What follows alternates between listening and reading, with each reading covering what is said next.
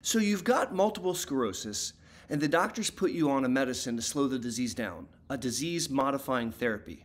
How long are you supposed to take that therapy? When should you switch? Howdy. My name is Aaron Boster. I'm an MS neurologist in Columbus, Ohio, and in this video, I'm going to be answering that exact question. Don't turn away because all of that starts right now.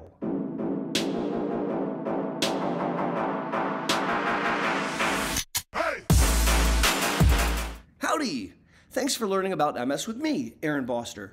In this video, I want to discuss when we should consider switching your disease modifying therapy. Under what situations might we say, this doesn't seem to be working out, should we consider other options? In my clinical MS practice, I would submit that there are six conditions under which we would make a switch, or at least consider making a switch. Grab a pencil and paper and let's go through all six right now. Number one, if you have an attack on your disease modifying therapy, we should discuss whether the drug is working for you or not. Think about it this way if you are taking birth control pills and then you become pregnant, it didn't work. The intention of a birth control pill is to prevent an unplanned event. And if you have that unplanned event, well, golly gee, that wasn't your goal. Similarly, if you're taking a disease modifying therapy for multiple sclerosis, one of the major goals is to prevent MS attacks. If you have what I call a breakthrough attack, an attack despite taking a medicine, that's not okay. Particularly with the modern, newer medicines, the anticipated annualized relapse rate, or the frequency of attacks, is 0.1, meaning statistically one attack every 10 years. So, really, we should be shutting down attacks. If you're having attacks on your drug, that's not okay, and we should discuss potentially doing something different. Now, there is an important caveat drugs don't work the second you start taking them. Oftentimes, the disease modifying therapies have a ramp up period of upwards of six months. So, if you start a drug and the next day, God forbid, you have an attack, that's too early to cut bait. Number two, new spots on the MRI while you're taking this medicine. If you have a clinical attack, God forbid, it's pretty darn clear that some bad things are going on. The reality is, if we see a new spot on a future MRI, despite being on a drug, it teaches me the exact same thing that there is ongoing inflammatory brain damage despite taking a medicine intended to prevent that. So, as we get annual MRIs of your brain, as we get MRIs of your spine every other year, we're looking to see if there's new structural damage new spots.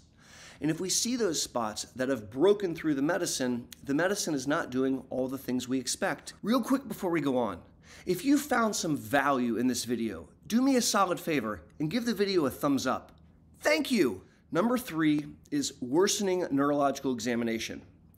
When we bring you into the MS Center and we run you through what I call the MS Olympics, we're looking at neurological functions.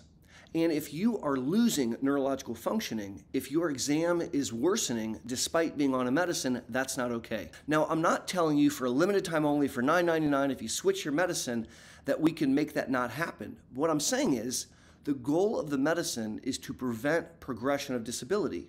And if we're seeing that on exam, that is an inflection point to ask the question if we're getting everything that we can get from this drug and if we should consider a different one that might provide better protection. Number four is poor tolerability. I'm fond of saying that I want you on the most effective disease modifying therapy that you're comfortable taking. And tolerability is a big part of that. If you're taking a medicine that's making you have diarrhea constantly, that's not going to work out. If you're taking a medicine which is causing you to feel like you have the flu a couple days every single week, that's not going to work out. My point is that we're asking you to do something for years, for decades. And if it's not tolerable, that's not going to be a good long term solution. There is no shame in that game telling your clinician, hey, this is not something that I can put up with taking. I need to consider another option that I can tolerate better. Number five is that the drug is no longer considered safe. And safety is something that can change over time. Just to give you an example, someone who starts off taking natalizumab, Tysabri, which is a highly effective drug, will have their JC virus antibody status checked in my clinic every three months. And if you started off Tysabri and it was a negative result and it becomes positive, and then that number climbs, the safety profile of that medicine Tysabri has changed from no risk of PML to a higher risk of PML. And in many patients, that's enough to say, wait, the risk benefit has changed and I need to consider a different drug. Another example would be one of the oral pills that could make your liver enzymes go up. And maybe after a couple months on being the drug, your liver enzymes spike. That's not good, and we need to take you off the drug. So safety is a major, major concern. My YouTube analytics says that half of you watching this video right now have subscribed to the channel. So to that half, thanks guys! For those of you that have not yet subscribed, please consider doing so. It's completely free and it teaches the YouTube algorithm that you like this content and helps push it out so more families impacted by MS can benefit. Thanks! Number six is that a new drug has been invented which is categorically better.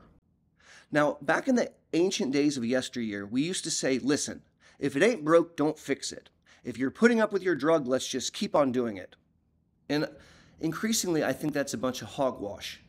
The reason I say that is there are drugs today that can do things that we couldn't do back in the ancient days. For example, many of the first line shots that we used to give people for MS are very bad at slowing disease progression. They don't do it very well. Comparatively, when you look at the new monoclonal antibodies, they are much, much better at slowing disability progression. I want that for my patients. Similarly, many of the early drugs are not remarkable at slowing brain volume loss, something very important in MS, whereas the newer drugs can. So, if you're on a therapy and something new is developed which can offer you more, that's also a point in time that we can consider an upgrade it's worthwhile talking about when I would not stop a disease modifying therapy. I would not stop a disease modifying therapy because you happen to celebrate a particular birthday. There are MS neurologists that are downright ageist, and they've decided that if you achieve a birthday of, say, 55 or 60 or 65, well, then, honey, you don't need to take your medicine anymore. And that's completely nonsense. As long as you have a nervous system with neurological features that you're fond of, like seeing or smelling or having an orgasm or moving your fingers, or any of these neurological features, I want to help you preserve that neurologic reserve. And if you have an immune system which would like to beat up on your nervous system, I want to do something to prevent that. It's true that people with MS who are a bit older in age are less likely statistically to have an attack. They're also less likely to recover. Moreover, people with MS who are a bit older in age have a higher likelihood of having progression of disability. And I'd like to remind you that the medicines for MS, particularly the newer medicines, do a decent job of slowing that down. So I would not stop the drug just because you reached a certain age. If you'd like to up your game and learn more about MS, click the video that's on your screen right now. And until my next Monday morning video or my next monthly live stream, or even better yet, the next time I see you at the Boster Center for MS, this is Aaron Boster saying be safe and take care.